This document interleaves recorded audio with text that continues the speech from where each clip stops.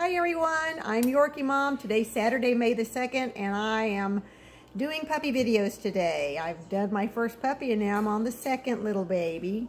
This little boy is not available. It's for his mama. So I want her to get an update. I'll pull his little hair back so you can see his ears if they when they stand up. Let's, get him to go up. Hold on. Well, let's do it this way. There. There we go. So they'll be up here soon. Look at him. He's so beautiful. Look at all that coat. It goes just all the way down. You got a line all the way down to down as you know what and a little lower. It's beautiful. Look at it. I mean, you don't find a lot of eight-week-old puppies with hair this thick and this long. Look at there. It reaches out past my fingers. He's going to be gorgeous. He gets to eight weeks and I do that groom and he's got that poof on him. Oh my goodness.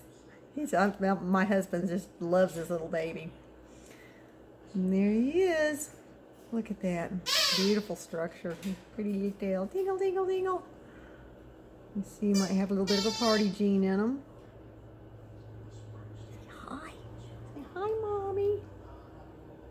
Kiss, kiss. And if anyone wants to check and see if I have puppies available, I will include a link below the video. And as always, every baby that I place in homes comes with a 100% money back health guarantee in writing. So you folks have a great rest of your weekend. Stay safe. Socially distance yourself. Jeez, I am so socially distanced. Uh, uh, I, will tell you. Have a wonderful weekend. Be safe and God bless you all. Bye-bye.